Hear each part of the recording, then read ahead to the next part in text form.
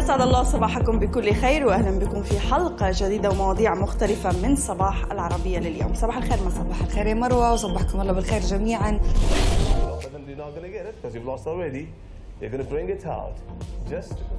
الإماراتي معين البستكي يقرأ الأفكار ويستعرض ألعاب الخفة اليوم من استديو صباح العربية.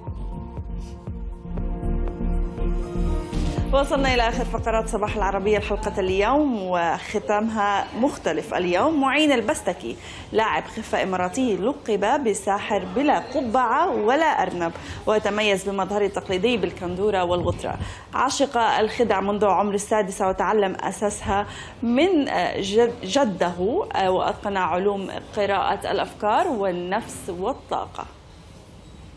للمزيد ينضم إلينا في الاستوديو لاعب الخفه الاماراتي معين البستكي. صبحك الله بالخير يا يا مرحبا وسهلا فيكم. يا هلا بكم. حت... حتخفينا اليوم أنا ومروة والاستوديو تسرح وتمرح فيه لوحدك يا ركز على مها. أنا قلت لها أنت الضحيه إن شاء الله إن شاء الله. طيب معين. إحنا اليوم يعني حابين نتعرف عليك أكثر بس حابين نستغل الوقت كمان أكثر تورينا أكبر قدر من الخداع. في البداية أنت كيف تعلمت؟ آه جدي. جدي كان هو سبب ان دخلت عالم ألعاب الخفة. آه وتعمقت فيها كون إنه وصلت لمرحلة ممكن أسوي أشياء فيها إيحاء لقراية الأفكار مم. بس نبغى نأكد للمشاهدين انه ما في سحر ما في تعامل مع أي طاقة خارجية أيوه. خدع بصرية.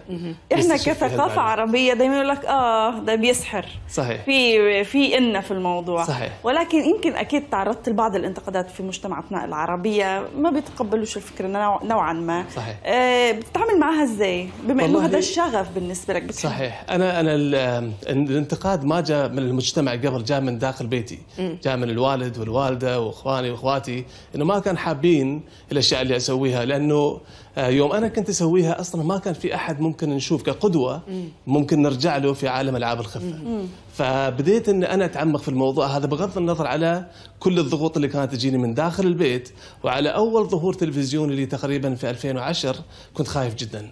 كنت خايف جدا طبعا أكيد. إن المجتمع شو حيقول والناس شو حيقولوا والناس اللي أعرفهم هل ممكن يكلموني ما يكلموني. ولكن تفاجأت انه القبول كان أكثر من الرفض. إن الناس اللي يتابعوني استانسوا وحتى إنه قبلت في كثير من قابلوني في كثير من القنوات الفضائية العربية والعالمية على الأشياء اللي أنا تعمقت فيها. طيب جميل إحنا بنستغل الوقت الآن تورينا إن شاء الله. آه يعني حاجة أنا صراحة قراءة الأفكار لفتت انتباهي فماني عارفة إذا ممكن نعملها الآن ممكن أو ممكن إن شاء الله ليش لا؟ طيب. أستاذة مها بس خلينا هذه عندك لحظة إن شاء الله بنرجع لها بعد شوي أستاذة مروة طيب. آه اللي باك تسوين اباك إنك ترسمي لي رسمة مبسطة من غير ما تراويني ترسمي لي إياها. أنت ما غير الرسم اللي أنا فاشله فيه؟ بس لا تراويني إياها لا تراوينها okay. ترفعينها فوق على أساس ما حد يشوف. آه، رسمة مبسطة. okay. أكثر الناس يرسموا لك مثلا smiley face أو وردة. أنت اللي في بالك رسمة رسمة ثانية رسمة ما هي لا smiley face ولا وردة.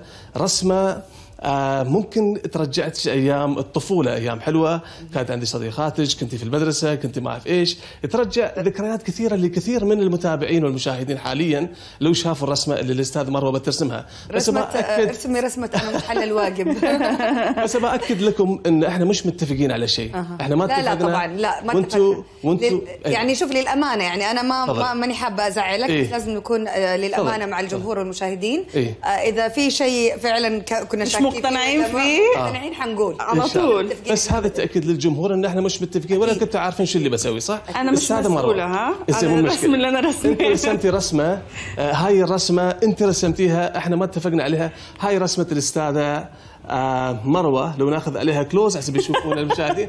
هذه رسمة رسمتها إحنا مش متفقين. صف كام؟ شفت قلت لنا الكلام. وإحنا قبل قبل ما أجيكم آه، للبرنامج رسمتي بيت صح؟ رسمتي بيت. أيوة. قبل ما أجيكم للبرنامج أنا كنت حاطط في ظرف prediction prediction ممكن لو الأستاذة مها تطلعها وتشوف ال prediction هل أنا رسمت تقريبا شيء مطابق أو لا. مشابه؟ رسمت زي رسمة مروة. إي إي إي. نشوف مين هو أحلى. عندك الظرف. رسمت زي رسمة مروة بيت رسمة الأستاذة مروة. أنا كنت راس منها من وأنا في الطريق قاعد أجيكم. أستاذة مروة وإحنا راجعين لأيام الطفولة. أبغاك تفكرين ليش خايفة؟ أبغاك مش عارفة. وترتني ابغاش تفكرين لي معلم ومعلمة كان آه، عزيز على قلبك. في يمكن كان أثر على شيء في حياتك. الاسم موجود عندك عندك أول اسم أكيد. وعندك آخر اسم. أنا مو بعارف الاسم في بالك موجود. قاعد تكتبينها كأنك في بالك على لوحة كبيرة سوداء قاعد تكتبينها. أول اسم هو أستاذ مش أستاذ أستاذ صح؟ شخص اي الاسم آه، قاعد يجيني أحمد أول اسم أحمد صح؟ أوكي. آخر اسم فكري لي في آخر اسم آه، ضخميها كبريها. أنت قاعد تخيلين الأستاذ هذا قدامك كأنه واقف هنا معانا. اسمه أحمد. أحمد اسمه شوية غريب. اسمه اسمه فيها أبو. ما أعرف ليش فيها أبو. أيوه برافو. اسمه أحمد أبو. هو الفتوح الفتوح الفتوح. شكرا ليش ما قصرت. استاذه ما أستاذ اتفقتوش مع بعض؟ لا والله. شوي؟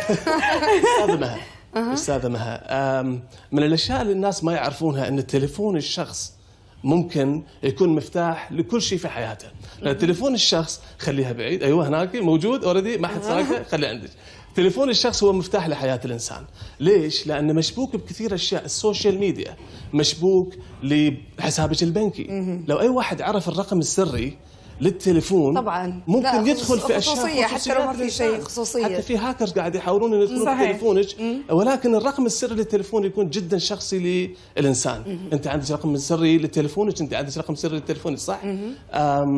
الرقم السري للتليفونك فكري فيها؟ كأنك قاعد تكبرينها في بالي. بس على السريع معنا أقل من. دقيقة. الرقم السري أول رقم. أنت عندك أربعة أرقام مش ست أرقام. في بعض إيه، أربع أرقام. أرقام. أربعة أرقام أول رقم واحد أول رقم واحد اي إيه. okay ثاني رقم فكري كأنها قاعد تقولينها بلغة ثانية. واحد.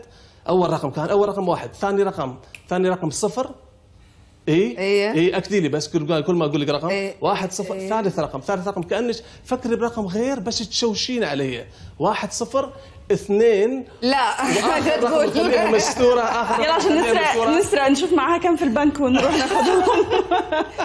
لا يعني thank you لكم استمتعنا معك. لا, لا،. طبعاً. لا خلاص كفاية. اثنين واخر رقم هنخليها مستورة لها وللجمهور. كده كده طيارين. غير الباسورد أصلا؟